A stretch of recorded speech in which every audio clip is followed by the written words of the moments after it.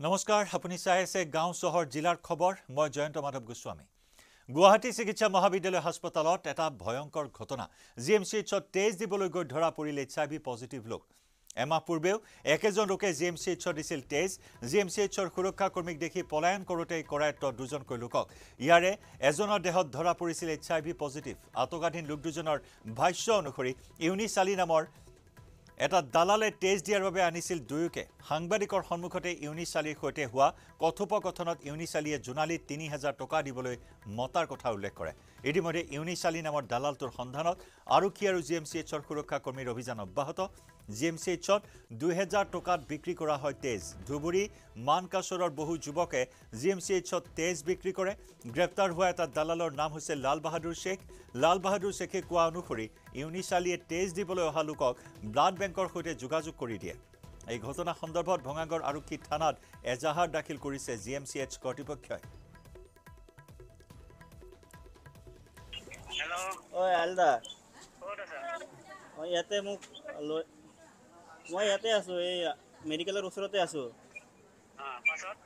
পাছত মানে ইয়াতে থিয় হৈ আছোঁ মানে ইয়াতে মানে ভাবি আছোঁ এতিয়া কি কৰা যায়? কেছটো মোৰটোতো এতিয়া হিৰো নাহে বোলে দেখোন।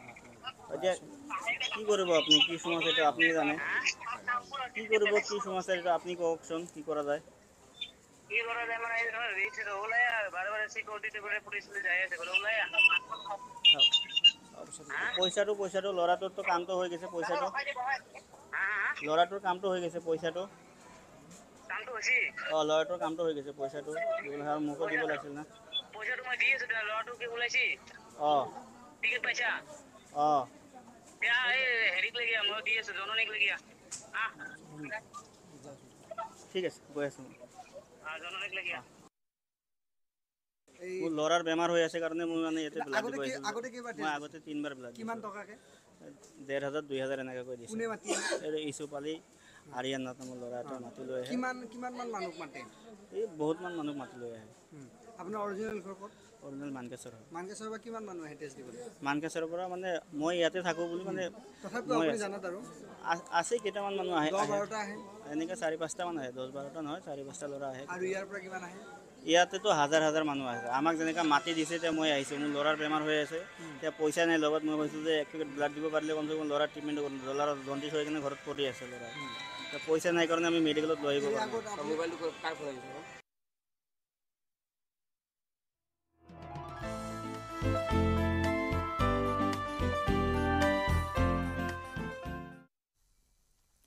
দুহেজাৰ চৌব্বিছ পঁচিছ বৰ্ষৰ বাবে মুকলি এশিঙীয়া গড়ৰ ৰম্যভূমি পবিতৰা অভয়াৰণ্য।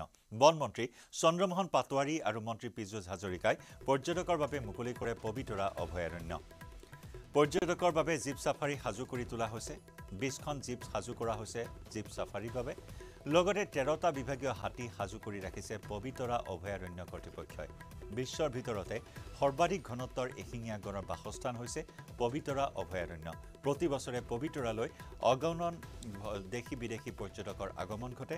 প্ৰাকৃতিক সৌন্দৰ্যৰে ভৰপূৰ পবিতৰা অভয়াৰণ্যৰ মোহত পৰি দেশী বিদেশী পৰ্যটকসকলে এশিঙীয়া গড় স্বচক্ষে প্ৰত্যক্ষ কৰিবলৈ ভিৰ কৰে।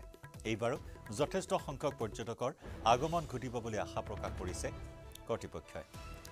উল্লেখযোগ্য যে সম্প্ৰতি এশ সাতটা গড় পাঁচ শতাধিক বনৰীয়া মহ সহস্ৰাধিক বন গাহৰিৰ উপৰিও প্ৰায় তিনিশ পঁচাশীটা প্ৰজাতিৰ দেশী বিদেশী পৰিভ্ৰমী পক্ষীয়ে বিচৰণ কৰে। পবিতৰা অভয়াৰণ্য মুকলি অনুষ্ঠানত মায়ঙৰ পৰম্পৰাগত ৰজা তৰণীকান্ত সিংহ বন বিভাগৰ কেইবাগৰাকী উচ্চপদস্থ বিষয়া জিলা প্ৰশাসনৰ লোকসকল আৰু স্থানীয় লোকসকল উপস্থিত থাকে। আজিৰ এই মুকলি অনুষ্ঠানৰ এই মুকলি কৰাৰ জৰিয়তেদি আমাৰ টুৰিষ্টৰ এতিয়া আগমন ঘটিব আৰু মই আজি ৰাইজকো এই অঞ্চলৰ ৰাইজকো মই ধন্যবাদ দিছোঁ যে পবিতৰা অভয়াৰণ্যখন ভালকৈ ৰখাৰ কাৰণে ৰাইজেও যথেষ্টখিনি সহযোগ আগবঢ়াইছে। আমি কেনেকৈ আমি পবিতৰা অভয়াৰণ্যক আকৌ বেছি প্ৰমোট কৰিব পাৰোঁ তাৰ কাৰণে আমি ব্যৱস্থা গ্ৰহণ কৰি আছোঁ। পবিতৰালৈকে দেশী বিদেশী পৰ্যটক বহুত আহে এইবাৰো নিশ্চয়কৈ আহিব বুলি আশা ৰাখিছোঁ। আৰু এইবাৰ আমাৰ কাৰণে আৰু ভাল যে ৰাস্তা পথ সম্পূৰ্ণ ভাল হৈ গ'ল। গুৱাহাটীৰ পৰা অহা দুয়োটা ৰাস্তাই সম্পূৰ্ণকৈ ভাল হৈ গ'ল গতিকে পৰ্যটকৰ সুবিধা হ'ব যথেষ্ট পৰ্যটক আহিব বুলি মই আশা ৰাখিছোঁ। মইনাবাৰীত আটক এটা চাইবাৰ অপৰাধীক। প্ৰদীপ ৰবি দাস নামৰ দুৰ্ধৰ্ষ চাইবাৰ অপৰাধীটোৰ পৰা জব্দ কৰিছে bank passbook PAN card Aadhaar card আৰু কেইবাটাও মোবাইল ফোন। চাইবাৰ অপৰাধীটোৰ ঘৰ মৰিগাঁৱৰ মইনাবাৰীত অধিক তথ্যৰ বাবে প্ৰদীপ ৰবি দাসক জেৰা চলাই আছে আৰক্ষীয়ে। পূৰ্বে এবাৰ মৰিগাঁও আৰক্ষীয়ে আটক কৰিছিল চাইবাৰ অপৰাধীটোক।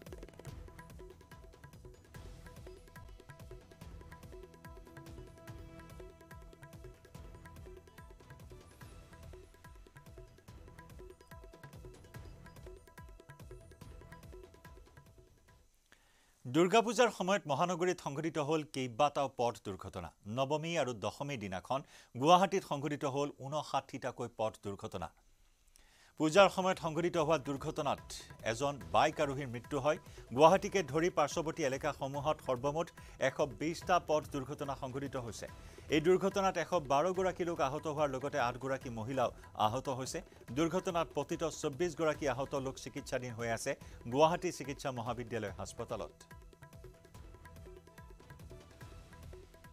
বাৰ তাৰিখৰ পৰা লাষ্ট ফৰ্টি এইট আৱাৰ্ছ আমাৰ ডাটা ৰোড ট্ৰাফিক এক্সিডেণ্টৰ ডাটা এটা আমি ওলালোঁ। তাতে ট'টেল কেচেছ আহিছিল এশ বিছটা তাৰ ভিতৰত গুৱাহাটীৰ ভিতৰৰ কেচেছ ফিফটি নাইন আৰু গুৱাহাটী বাহিৰৰ কেচেছ ছিক্সটি ওৱান আৰু তাতে male is to female ratio' male বেছি আছিলে এশ বাৰজন আছিল আৰু ফিমেল আঠটা। আৰু most of them were between the age group of 30 to 40 years ত্ৰিছ বছৰৰ পৰা চল্লিছ বছৰলৈ। আমাৰ থাৰ্টি ওৱানটা কেচেছ আছিল।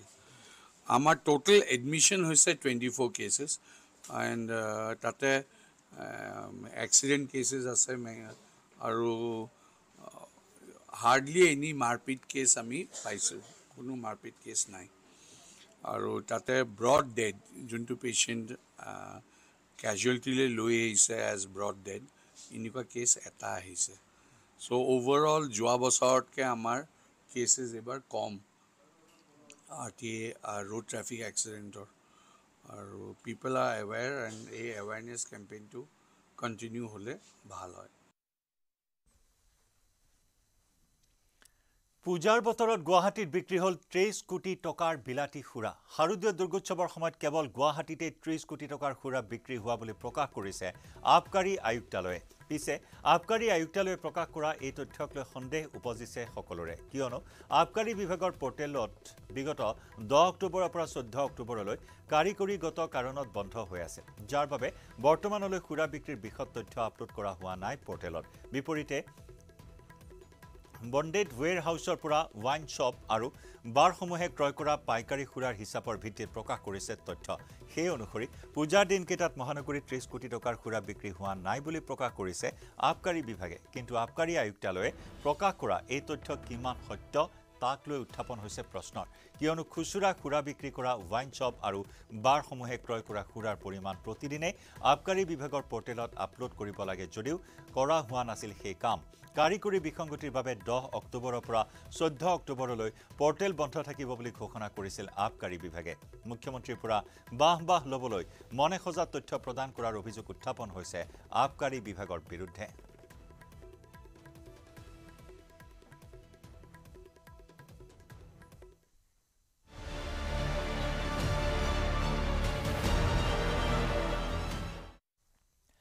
মৰিগাঁৱত পলাতক কয়দীৰ মৃতদেহ উদ্ধাৰ। আন চাৰিটা কয়দীৰ সৈতে মৰিগাঁও কাৰাগাৰৰ পৰা পলায়ন কৰা আব্দুল ৰছিদৰ মৃতদেহ উদ্ধাৰ হৈছে।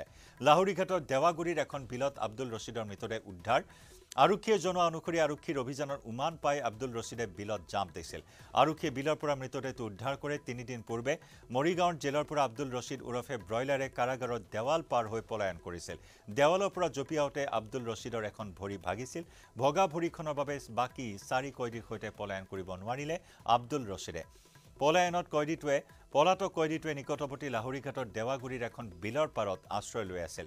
নিশা নাৱত শুই থকাৰ সময়তে স্থানীয় লোকে প্ৰত্যক্ষ কৰে আব্দুল ৰছিদে বিলৰ পানীত তেতিয়াই জাপ দিয়ে কিন্তু ভগা ভৰিৰে সাঁতুৰিব নোৱাৰি আব্দুল ৰছিদে মৃত্যুক সাৱটি লয়। আনহাতে আব্দুল ৰছিদৰ সৈতে একেলগে পলায়ন কৰা আন চাৰি কয়দী এতিয়া পলাতক। আব্দুল ৰছিদ আঠাইছ মেত পক্সোৰ গোচৰত গ্ৰেপ্তাৰ হৈছিল। হেৰি হৈছে তেওঁলোক পলায়ন কৰিছিলে আৰু মই মৰিগাঁও আৰক্ষী দলক মই মই হেৰি জনাব বিচাৰিম মই শলাগ ল'ব বিচাৰিম যে তেওঁলোকে সেই বিলখন য'ত তেওঁলোকে ফচা আছিলে প্ৰথমতে তেওঁ নাও নাও এখন লৈ লুকাইছিলে তাৰপিছত মোবাইল টাৱাৰ পোৱা হ'ল মোবাইল টাৱাৰ পাই উঠি তেওঁ কি কৰিছিলে ইমান মানে হেৰি আছিলে যে সৰু এডাল লাঠি লৈ মুখত তেনেকৈ লৈ উভতি পেলাই তেওঁ উপকি থাকিব পাৰে। কিন্তু গোটেই বিলখন কৰ্ডন কৰি দিয়াৰ বাবে আজি তেওঁ হেৰি হৈছে তেওঁৰ মৃতদেহ পোৱা হৈছে। আৰু তাৰ বাবে মই মৰিগাঁও আৰক্ষীক মই ধন্যবাদ জনাব বিচাৰিম। খুব সুন্দৰ কাম কৰিছে। আৰু বাকী চাৰিজনো যোনকেইজন পলায়ক হৈ আছে তেওঁলোকক সোনকালে ধৰা পৰিব। আব্দুল আব্দুল ৰচিদ। আব্দুল ৰচিদ। বাৰ তাৰিখে ৰাতিপুৱা আমাৰ মৰিগাঁও জেলৰ পৰা পাঁচজন কয়দী পলায়ন কৰিছিলে। পাঁচোজন পক্সো ওচৰত বিচাৰাধীন হৈ আছিলে। পৰহিদিনা এটা খবৰ পাওঁ যে তাৰে এজন আব্দুল ৰচিদ বুলি ব্যক্তি পলাতক লিপিক তেখেতে পাটবৰি বুলি কয়। তাতে সুন্দুবা বিল বুলি এখন ডাঙৰ বিল আছে। তাৰ মাজতে মানে লুকাই আছে বুলি। খবৰ এটা পাইছিলোঁ। আৰু যোৱাকালি আমি মানে তদন্ত কৰা অৱস্থাত আমি তাৰ মোবাইলটো পাইছিলোঁ আৰু নাৱত কম্বল পাইছিলোঁ সেই ৰাতি আহ, মানে আহিলাবিলাক পাইছিলোঁ। আৰু যোৱাকালি কেইজনমান ব্যক্তিয়ে কয় যে সি পানীতে মানে নাৱৰ মাজত পানীত জাপ মাৰি দিয়া দেখা পাইছিল যোৱাৰ লগে লগে ওচৰৰ মানুহ যোৱাৰ লগে লগে। ৰাতি আমি যোৱাকালি ৰাতি আমি অনুসন্ধান বন্ধ ৰাখিলোঁ। আজি ৰাতিপুৱা আমি খবৰ পালোঁ যে ডেড বডি পোৱা গৈছে ডেড বডিটো উদ্ধাৰ কৰাৰ পিছত চিনাক্ত কৰা হৈছে যে এইটো আব্দুল ৰচিদৰ ডেড বডি আমি সন্দেহ কৰিছোঁ যে আমি অনুসন্ধান কৰা অৱস্থাত হয়তো সি পলাতক হৈ থকা অৱস্থাতে এক্সিডেণ্টেল জৰ্ণি হ'ব পাৰে। তেনেকুৱা বুলি সন্দেহ কৰিছোঁ। এতিয়া আমি পি এম কৰি তাৰপিছত আচল ঘটনাটো গম পাম। আমি আশা কৰোঁ সোনকালে বাকী চাৰিজনক আমি সহায় কৰিব পাৰিম। নিশ্চয়কৈ যোৱা এঘাৰ তাৰিখে আচলতে পাছ কৰি দি পলায়ন কৰিছিল মৰিগাঁও জিলা কাৰাগাৰৰ পৰা। তাৰপিছতে আচলতে সমগ্ৰ ঘটনাই এক চাঞ্চল্য সৃষ্টি কৰিছিল সমগ্ৰ ৰাজ্যতে। আৰু আৰক্ষীয়ে অভিযান চল চলাই আছিল এই অপৰাধীকেইটাক পুনৰ কৰায়ত্ব কৰিবৰ বাবে। কিন্তু তাৎপৰ্যপূৰ্ণভাৱে আজি পুৱতি নিশা এক খবৰ আহে। আব্দুল ৰচিদ ওৰফে বইলা নামৰ যিটো অপৰাধী সেই অপৰাধীটো দেৱাগৰি বিলৰ মাজত আচলতে উদ্ধাৰ কৰা হয় আৰু তাৰপিছতে উদ্ধাৰ কৰি লাহৰীঘাট থানাৰ থানালৈ ইতিমধ্যে মৃতদেহ লৈ অনা হৈছে আৰু যিসমূহ ব্যৱস্থা গ্ৰহণ কৰিব লাগে আৰক্ষীয়ে সেই ব্যৱস্থাসমূহ ইতিমধ্যে গ্ৰহণ কৰা পৰিলক্ষিত হৈছে। এনেদৰে এতিয়া যি মৃতদেহ সেই মৃতদেহ এতিয়া লাহৰীঘাট থানাতে আছে আৰু ইয়াৰ পিছত আচলতে মৰণোত্তৰ পৰীক্ষাৰ বাবে চিকিৎসালয়লৈ প্ৰেৰণ কৰিব। কিন্তু কথা হ'ল আচলতে এতিয়াও আৰু চাৰিটা অপৰাধী মুকলি আকাশৰ তলতে ঘূৰি আছে আৰক্ষীয়ে অভিযান অব্যাহত ৰাখিছে। আৰু এনেদৰে আজি যি কিছু সময় পূৰ্বে আচলতে বিলৰ মাজৰ পৰাই মৃতদেহটো উদ্ধাৰ কৰি যি অতিৰিক্ত আয়ুক্ত আৰু যি দণ্ডাধীশ পৰ্যায়ৰ লোক ইয়াত উপস্থিত হৈছে আৰু তেখেতসকলে পৰৱৰ্তী সময়ত এই যি মৃতদেহ সেই মৃতদেহ বাবে পৰীক্ষাৰ বাবে প্ৰেৰণ কৰিব। আৰু আৰু এটা কথা ক'ব লাগিব নিশ্চয়কৈ যি অপৰাধীকেইটা চাৰিটা অপৰাধী এতিয়াও পলাতক হৈ আছে সেই অপৰাধীকেইটাক কেতিয়া ধৰিব পাৰিব বা আৰক্ষীয়ে এতিয়াও কোনো ধৰণৰ প্ৰতিক্ৰিয়া আমাক প্ৰকাশ কৰা নাই। আৰু পৰৱৰ্তী সময়ত নিশ্চয়কৈ দেখা যাব আচলতে এই যি চাৰিটা অপৰাধী কেতিয়া ধৰে বা এই কি কি ঘটনাই পৰিঘটনাই সংঘটিত হয় সেয়া সময় নিশ্চয়কৈ ক'ব। অসমতে অসমীয়া ভাষাক চৰম অপমান। সৌ সিদিনা ধ্ৰুপদী ভাষাৰ মৰ্যাদা লাভ কৰা অসমীয়া ভাষাৰ প্ৰতি চৰম অপমান একাংশ অসমীয়াৰ। শাৰদীয় মঞ্চত ৰাজহুৱাভাৱে লাঞ্ছিত অপমানিত হ'বলগীয়া হ'ল মাতৃভাষা। সাংস্কৃতিক অনুষ্ঠানত অসমীয়া ভাষাত গীত গোৱা শিল্পীক বাধা প্ৰদান কৰিলে একাংশ উদণ্ড বিকৃত মানসিকতাৰ যুৱকে। টিংখাঙৰ সমীপৰ এখন চাহ বাগিচাত অপমানিত হ'বলগীয়া হৈছে অসমীয়া ভাষা। দশমী নিশা মঞ্চত অসমীয়া গীত গাই চৰম অপমানিত হ'ল উদীয়মান গায়ক বলীন ৰহন। মঞ্চত গীত গাই থকা বলীন ৰহনৰ সন্মুখত যুযুধান স্থিতিত একাংশ দৰ্শক আঙুলি টোৱাই গায়কজনক গীত পৰিৱেশন বন্ধ কৰিবলৈ ভাবুকি প্ৰদান কৰে এইসকল মাতাল দৰ্শকে। চাহ জনগোষ্ঠীয় গীত ঝুমুৰ আদি পৰিৱেশন কৰাৰ পাছত অসমীয়া গীত গোৱাৰ পিছতে ক্ষোভিত হৈ পৰে একাংশ উদণ্ড যুৱক। অসমীয়া গীত গোৱাৰ বাবে গায়কজনক আক্ৰমণ কৰিবলৈ উদ্যত হয় উদণ্ড লোকসকল। পৰিস্থিতি বিষম দেখি বলীন ৰহনে অসমীয়া গীত পৰিৱেশন আধাতে সামৰিবলৈ বাধ্য হয়। সমগ্ৰ বিষয় সন্দৰ্ভত ইতিমধ্যে প্ৰতিক্ৰিয়া ব্যক্ত কৰিছে সচেতন মহলে। মাতাৰা চাহ বাগিচা তাত মানে শাৰদীয় দুৰ্গা পূজা উপলক্ষে এটি মানে অনুষ্ঠান আয়োজিত কৰিছিলে তেখেতসকলে আৰু মোক সেই অনুষ্ঠানটিলৈ মোক আমন্ত্ৰণ জনাইছিলে তালৈ। আৰু তাত এটি খুব ধুনীয়া অনুষ্ঠান আচলতে হৈ আছিলে। অনুষ্ঠানটোৰ মাজতে অলপ অপ্ৰীতিকৰ সৃষ্টি দেখিবলৈ পালোঁ। যিহেতু পূজা বতৰ পূজা গীত দুটি গালোঁ তাৰপিছত আদিবাসী গীত গালোঁ সাৰ্থক জুবিন দাৰ এটি গীত খুবেই জনপ্ৰিয় মাজুলী গীতটো মই হঠাৎ পৰিৱেশন কৰিছিলোঁ আৰু তেখেতসকলক মই অৱগত কৰি লৈছিলোঁ অৰ্থাৎ জনাই লৈছিলোঁ। জনাই লোৱাৰ পিছতে মানে গীতটো মই পৰিৱেশন কৰি থাকোঁতেই তলৰ পৰা মানে মোক মঞ্চৰ তলৰ পৰা ৰখাই পিনে মাজতে অপ্ৰীতিকৰ সৃষ্টি কৰিছে যে ইয়াত মানে অসমীয়া নহ'বই নচলিবই। মানে অসমীয়া আমাৰ অসমীয়া জাতিটোক তেখেতসকলে মানে অৱম অৱমাননা কৰাৰ দৰে কৰিছে। আৰু তেতিয়া মই গীত ৰখাই দিলোঁ। কেইজনমান উদণ্ড ব্যক্তিয়ে শিল্পীগৰাকীয়ে অসমীয়া গীত পৰিৱেশন কৰাৰ বাবে তেওঁলোকে যি অপদস্থ কৰিলে অপমান কৰিলে অসমীয়া ভাষাক অপমান কৰাৰ লগে শিল্পীগৰাকীৰ প্ৰতি যি অপমানসূচক বাক্য প্ৰয়োগ কৰিলে তাৰ বাবে আমি সদৌ টাই আহোম ছাত্ৰ সন্থা ডিব্ৰুগড় জিলা সমিতিয়ে দুখ অনুভৱ কৰিছোঁ।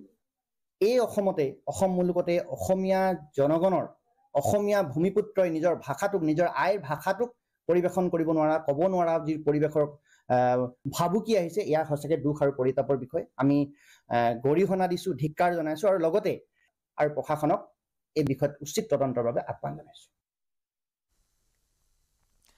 আজি ৰাজ্যৰ উপ নিৰ্বাচনৰ দিন ঘোষণা হোৱাৰ সম্ভাৱনা। বিয়লি সংবাদমেলযোগে নিৰ্বাচন আয়োগে মহাৰাষ্ট্ৰ বিধানসভা নিৰ্বাচনৰ লগতে ঘোষণা কৰিব পাৰে অসমৰ পাঁচটা সমষ্টিৰ উপ নিৰ্বাচনৰ দিন।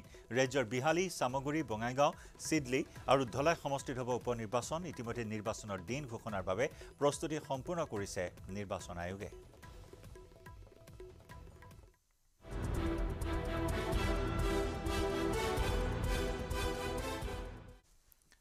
ইফালে উপ নিৰ্বাচনৰ বাবে বিজেপিৰ প্ৰাৰ্থী পেনেল প্ৰস্তুত। দেওবাৰে কইনাধৰাত মুখ্যমন্ত্ৰীৰ উপস্থিতিত নিৰ্বাচনী সমিতিৰ বৈঠকত উপ নিৰ্বাচনত তিনিটা সমষ্টিৰ বাবে তিনিজনীয়াকৈ প্ৰাৰ্থী পেনেল প্ৰস্তুত কৰা হৈছে।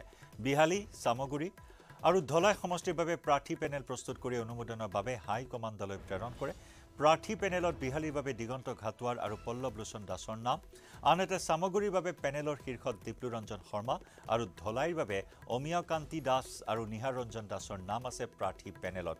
দেওবাৰৰ নিৰ্বাচনী সমিতিৰ বৈঠকত মুখ্যমন্ত্ৰীৰ লগতে আছে কেন্দ্ৰীয় মন্ত্ৰী সৰ্বানন্দ সোণোৱাল ৰাজ্যিক বিজেপিৰ তত্বাৱধায়ক হৰীশ দ্বিবেদী ৰাজ্যিক বিজেপিৰ সাংগঠনিক সম্পাদক ৰবীন্দ্ৰ ৰাজুৰ লগতে বিজেপিৰ সভাপতি ভৱেশ কলিতা মন্ত্ৰী ৰঞ্জিত কুমাৰ দাস পীযুষ হাজৰিকা নন্দিতা গাৰ্লোচাকে ধৰি কেইবাগৰাকীও নেতা। উল্লেখযোগ্য যে বিজেপিয়ে এইবাৰ মিত্ৰ দলক এৰি দিছে বঙাইগাঁও। আৰু চিডলি সমষ্টি। আগবঢ়াইছোঁ বঙাইগাঁৱৰ পৰা আমাৰ সাংবাদিক উপানন্দ শৰ্মাৰ প্ৰতিবেদন। ৰাজ্যত পাঁচ বিধানসভা সমষ্টিৰ উপ নিৰ্বাচনক বৰ্তমান চৰ্চিত হৈছে আৰু নিৰ্বাচন আয়োগে যিকোনো মুহূৰ্তত নিৰ্বাচনৰ দিশ ঘোষণা কৰিব পাৰে আৰু যিহেতু বঙাইগাঁও বিধানসভা সমষ্টিতো এইবাৰ উপ নিৰ্বাচন হ'ব আৰু মিত্ৰজোঁটৰ প্ৰাৰ্থিত্ব কেন্দ্ৰিক চৰ্চা চলি আছে আৰু আজি অগপৰ চল্লিছ সংখ্যক প্ৰতিষ্ঠা দিৱস আৰু এইবাৰ বঙাইগাঁও বিধানসভা সমষ্টি এইবাৰো আহ, অগপই প্ৰতিদ্বন্দ্বিতা কৰিব। প্ৰাৰ্থিত্বক লৈ যিহেতু চৰ্চা চলিছে বিশেষকৈ ফণীভূষণ চৌধুৰীৰ সহধৰ্মিনী দীপ্তিময়ী চৌধুৰীৰ নাম চৰ্চাত আহিছে আৰু ইয়াৰ লগতে আহিছে আহ, জিলা সাধাৰণ সম্পাদক শৈলেন চৰকাৰৰ নাম। মোৰ সৈতে এই মুহূৰ্তত আছে দীপ্তিময়ী চৌধুৰী আৰু তেখেতৰ পৰা কিছু জানিব চেষ্টা কৰিম। আপোনালোকৰ প্ৰাৰ্থিত্বটো চূড়ান্ত হোৱা নাই কিন্তু নামটো আপোনাৰ প্ৰায় চৰ্চাত আহিছে আৰু প্ৰায় এক প্ৰকাৰ চূড়ান্ত বুলি আমি জানিব পাৰিছোঁ। কি ক'ব? মানে এই বিষয়ত ৰাইজৰে কথা। যদি মোক ৰাইজে বিচৰা বুলিয়ে শুনি আছোঁ সকলে কৈ আছে। যদি ৰাইজে বিচাৰে তেতিয়াহ'লে মানে সন্মতি জনাব লাগিব আৰু। সেইটোৱে কথা। আজি প্ৰতিষ্ঠা দিৱসত সভাপতি জিলা সভাপতি নাই সম্পাদকো নাই। গতিকে কিবা বিসম্বাদ বা অসন্তুষ্টি কিবা আহিছে নেকি? সেইটো আমি দেখা নাই। তেখেতসকল যদিও নাই কিন্তু কামখিনি সুচাৰুৰূপে চলি আছে। মানে ঠিকে চলি আছে আৰু চল্লিছ সংখ্যক যিহেতু আমাৰ প্ৰতিষ্ঠা দিৱস মানে বাকীসকল যিসকল আমাৰ কৰ্মী আছে দলীয় বিষয়ববীয়া আৰু কৰ্মীসকল সকলোৱে লাগি ভাগি মানে কামখিনি সুচাৰুৰূপে নিশ্চয় চলি যাব। গছ থাকিলেহে মানুহ থাকিব। সেই উদ্দেশ্যলৈ অসমখনক এক পৰ্যটনস্থলীলৈ ৰূপান্তৰ কৰাত ব্যস্ত হৈছে প্ৰকৃতিপ্ৰেমী অনুপ পাটকাই আৰু তেওঁৰ দল। মেৰাপানীৰ এক নম্বৰ তৰাণীত প্ৰকৃতিপ্ৰেমী অনুপ পাটকাৰীৰ গছপুলি ৰোপণ। এভাৰগ্ৰীণ আছাম প্লেণ্টেশ্যনৰ সহযোগত আৰু সোণাৰু কাঞ্চন কৃষ্ণচূড়া এন জি অ'ৰ সহযোগত এন জি অ'ৰ উদ্যোগত মেৰাপানীৰ এক নম্বৰ তৰাণীত বৃক্ষ ৰোপণ কাৰ্যসূচী। প্ৰকৃতিপ্ৰেমী অনুপ পাটকাই প্ৰকৃতি সুৰক্ষাৰ লক্ষ্যৰে অসমৰ বিভিন্ন ঠাইত গছপুলি ৰোপণ কৰি আহিছে। দুহেজাৰ ঊনৈছ চনৰে পৰা প্ৰকৃতিপ্ৰেমী অনুপ পাটকাই ৰাইজক সজাগ কৰাৰ উদ্দেশ্যে মেৰাপানীৰ এক নম্বৰ তৰাণীত এক বিশেষ কাৰ্যসূচী গ্ৰহণ কৰে। আগবঢ়াইছোঁ আমাৰ সাংবাদিক অনমোল যাদৱৰ প্ৰতিবেদন। অসমৰ বিভিন্ন গাঁৱে ভূঞে তেওঁলোকে এক সেউজীয়া সপোন দেখিছে আৰু তেওঁলোকে সেই সপোন এটা ৰূপ দিবলৈ আহি উপস্থিত হৈছেহি বৰ্তমান। আৰু এক নম্বৰ তৰাণী গাঁৱত। আৰু মই সামগ্ৰিক দৃশ্য নিজে দৰ্শকক দেখুৱাম। এক সুন্দৰ প্ৰয়াস। আচলতে অসমৰ নিবনুৱা সমস্যা প্ৰতি লক্ষ্য ৰাখি তেওঁলোকে বিভিন্ন এনেদৰে কাৰ্যসূচী লৈছে। কাৰণ যেতিয়া সেউজীয়া এটা ধৰণীত পৰিণত হ'ব অসমখন বিভিন্ন দেশৰ পৰা পৰ্যটকসকল আহিব আৰু আকৰ্ষিত হ'ব। সেই উদ্দেশ্য লক্ষ্য ৰাখি পিনি তেওঁলোকে এক প্ৰয়াস কৰিছে। মই সামগ্ৰিক দৃশ্য আমাৰ দেশৰ দৰ্শকসকলক পোনে পোনে দেখুৱাইছোঁ। এনেদৰে তেওঁলোকে বৃক্ষৰোপণ কাৰ্যসূচী আৰম্ভ কৰিছে।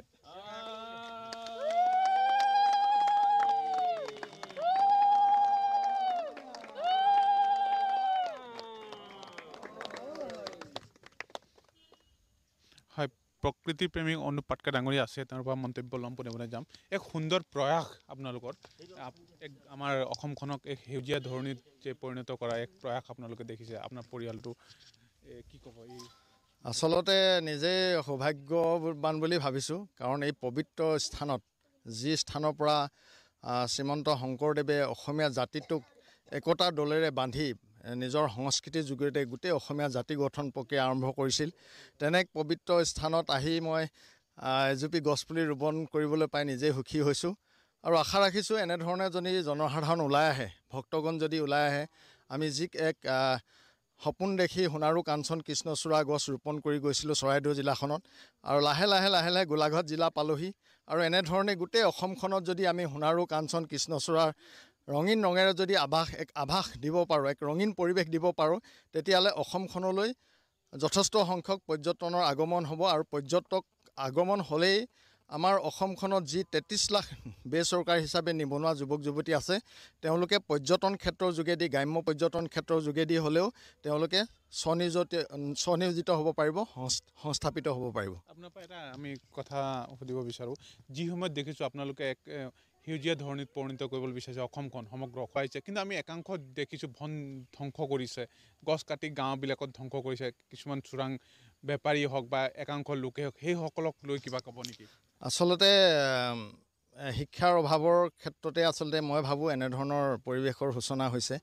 আমি যদি শিক্ষিত হওঁ আৰু চৰকাৰেও যদি জনসাধাৰণক শিক্ষাৰ ক্ষেত্ৰত যেনেধৰণে আগুৱাই নিব লাগে তেনেধৰণে যদি আগুৱাই নিয়ে তেতিয়াহ'লে মই ভাবোঁ অসমখন আকৌ পুনৰ আগৰ যি চিৰসেউজ অসম আছিল চিৰসেউজ হৈ পৰিব আৰু অসমখনৰ পৰিৱেশ এক সুন্দৰ হ'ব এক সৌন্দৰ্যৰ বিৰাজ কৰিব। আৰু ইয়াৰে সৈতে গাঁও চহৰ জিলাৰ খবৰৰ পৰা বিদায় লৈছোঁ। নমস্কাৰ। সৰ্বোত্তম টি এম টি লগা এইটো মাইথান ষ্টীল নহয়। সস্তা হয় বছ। ষ্ট্ৰং মানে মাইথান ষ্টীল